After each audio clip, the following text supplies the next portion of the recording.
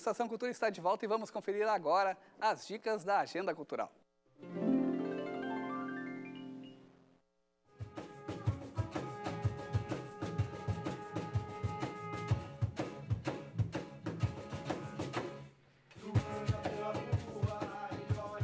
Hoje a banda Cusco Baixo se apresenta no bar Parafernália. Com influências da música sul-americana e de ritmos como rock e folk, o grupo realiza show às 22 horas.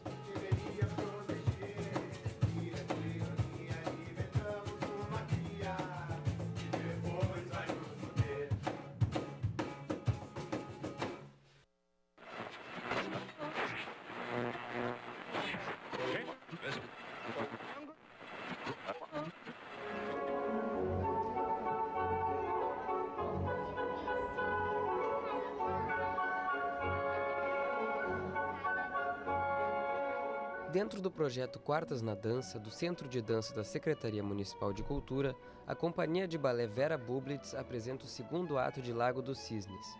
O clássico de Tchaikovsky poderá ser visto amanhã às 20 horas no Teatro Renascença.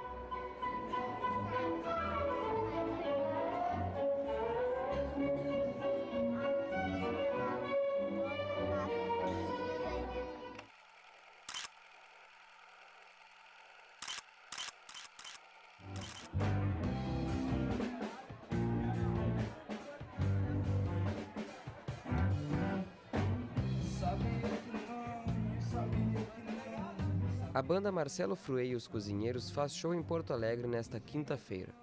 Na programação do Ocidente Acústico, o grupo vem à sua cidade natal para lançar o clipe da música Sabia Que, presente no disco Ion, que está na lista de votação do Grêmio Latino 2013.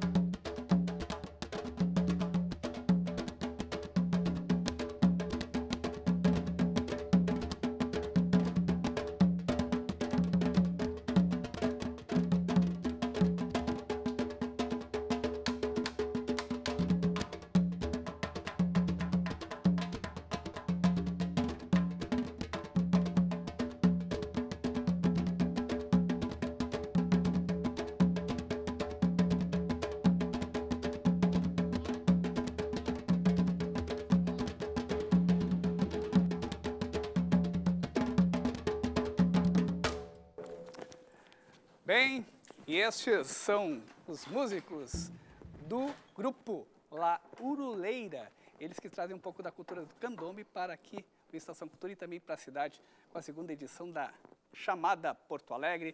Tudo bem? Sejam bem-vindos. É um grupo que mistura músicos brasileiros e uruguais. Eu estou aqui com o Lucas Kinoshita. Por favor, apresenta o pessoal para gente. Então, aqui, uh, doble chapa, família uruguaia, pero brasileiro, Martim Esteves ao piano. Nosso convidado especia especialíssimo chegou hoje do Uruguai para dar as oficinas durante a segunda chamada, Porto Alegre, Alejandro Vichano, que inclusive é construtor desses tambores que estão sendo estreados aqui hoje. Vieram para ficar nos pontos de cultura e Alejandro fez esses tambores. E ali nossa parte uruguaia da corda lauroleira, Aníbal Mai, e tá faltando algumas pessoas aqui. A corda é maior, mas aqui estamos nós. Lucas, você que é um percussionista com uma trajetória de pesquisa uh, de vários ritmos e agora tem se aprofundado nesse encontro uh, com os ritmos do Uruguai também. Explica um pouco para a gente sobre uh, a diferença de cada um desses instrumentos. Perfeito. O candombe ele é formado uh, por três tambores diferentes, né? O que eu estou aqui e o Aníbal são os tambores tico. Eles são os tambores menores, como vocês podem ver, mais agudos, responsável por uma célula rítmica mais fixa, fazendo um pouco a mesma coisa. Aníbal, vamos ver um, como é um pouco da sonoridade deste tambor, por favor? Sim.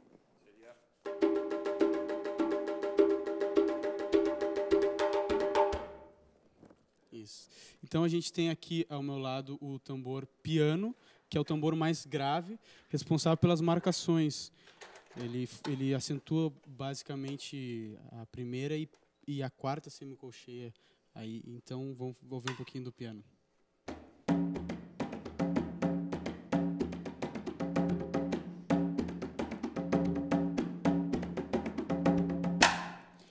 com o Alejandro a gente tem o tambor repique, que ele é responsável por uh, duas funções. Uma é a clave do candombe, e, que é uma das timelines né, responsáveis pela rítmica aí do candombe, e também pelos floreios, improvisações, para chamar uh, os inícios e finais, as mudanças, enfim.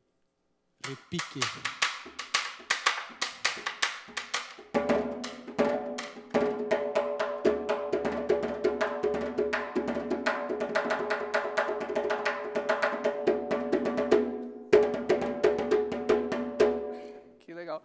A gente está aqui nesse momento de percussão na Estação Cultura e eu vou pedir para vocês tocarem então mais um pouquinho para a gente conhecer um pouco mais do trabalho. Vamos lá? Beleza, vamos fazer.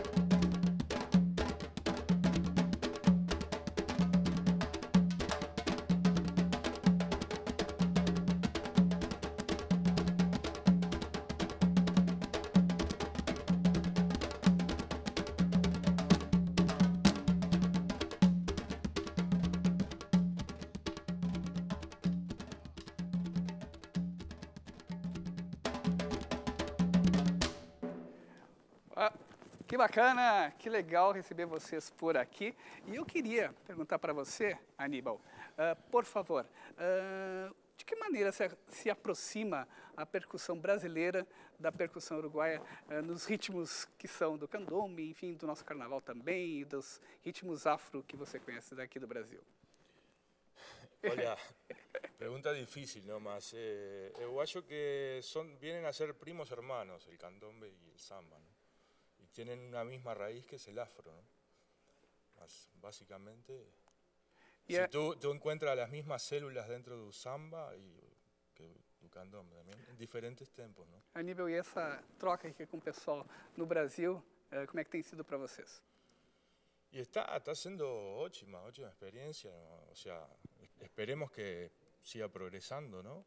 Que esa es la, la finalidad, de juntarnos, divertirnos, este, pero óptima experiencia. Que bacana.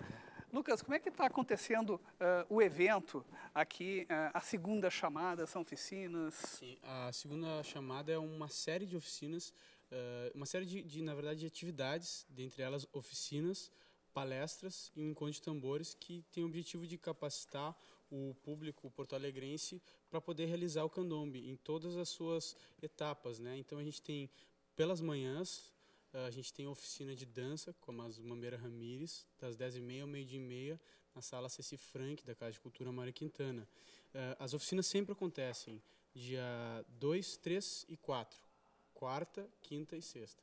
Pelas tardes, a gente tem as as oficinas do Alejandro Vichiano de construção desses tambores de candombe lá no Quilombo do Supapo, das 2 às 16. Pelas noites, a gente tem a oficina do Diego Paredes, uh, a Mazumambeira e Diego estão chegando amanhã aqui em Porto Alegre. Ele, e a oficina do Diego é ah, no Quilombo, no, desculpa, é no Afro Sul do Modê, das 19 às 21, também, todos os dias, quarta, quinta e sexta. E no sábado é um dia bem especial, que é o encerramento, a gente vai ter ah, dois momentos ah, bem, bem interessantes e distintos. A gente vai ter uma palestra do Oscar Montanha, que vem para conversar, fazer uma charla sobre o candombe, explicar mais ou menos o que, que é isso, vai mostrar um documentário também, e vai ser na Casa de Cultura Mário Quintana, no Auditório Luiz Cosme, é gratuito, evento das 16 às 18. E das 19 às 21 a gente tem o encerramento da segunda chamada Porto Alegre, no Afro Sul do Modê, novamente, com encontro de tambores. Então, ah, quem tem grupo de candombe, quem tem grupo de tambor, de qualquer gênero, queira participar, pode entrar em contato com a gente através do tamborarte.gmail. Tem já uma série de grupos confirmados, outros muitos convidados também para a gente fazer esse encerramento bonito. Quem quiser também, a gente tem um- um- uma fanpage no, no, no, no Facebook, para quem quiser saber mais informações, e um blog, tamborearte.com. Legal. Obrigadão pela participação de vocês aqui. Aníbal, Alejandro, Martim e Lucas Quinochita. Lembrando então que a segunda chamada Porto Alegre, ela acontece de 2 a 5 de outubro ah, em vários locais, entre eles a Fosso do Modê, Casa de Cultura Mário Quintana e Quilombo do Sopapo. Bom, é claro que a gente vai encerrar o Estação Cultura um pouco mais da percussão e do candombe deste grupo que está aqui no nosso estúdio. Tchau, tchau. Por favor.